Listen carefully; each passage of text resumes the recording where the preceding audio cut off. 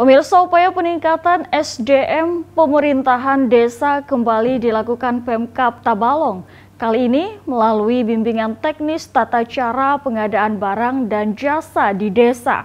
BIMTEK diikuti 121 kepala desa yang diharapkan mampu mengaplikasikan tata cara pengadaan barang dan jasa dengan baik pasca pelaksanaan BIMTEK. Pemerintah Kabupaten Tabalong melalui bagian pengadaan barang dan jasa Setda Tabalong memberikan bimbingan teknis tata cara pengadaan barang dan jasa di pemerintahan desa pada 6 September 2022 di Gedung Pusat Informasi dan Pembangunan. BIMTEK ini didasari Peraturan Bupati Tabalong nomor 22 tahun 2022. BIMTEK tata cara pengadaan barang dan jasa di desa diikuti 121 kepala desa setabalong. BIMTEK dibuka Bupati Tabalong Anang Syafiani yang mengharapkan para kepala desa dapat melakukan percepatan pengadaan barang dan jasa untuk mendapatkan multiplier efek dan berdampak pada peningkatan ekonomi desa.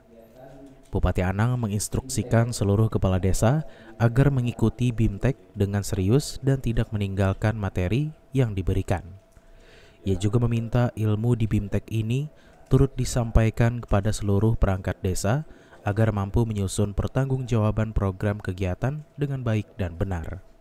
Saya minta diikuti dengan serius dan sebaik-baiknya karena ini sifatnya aplikatif. Setelah pulang dari sini, ibu dan bapak sekalian harus bisa mengaplikasikan tata cara pengadaan barang dan jasanya di desanya masing-masing.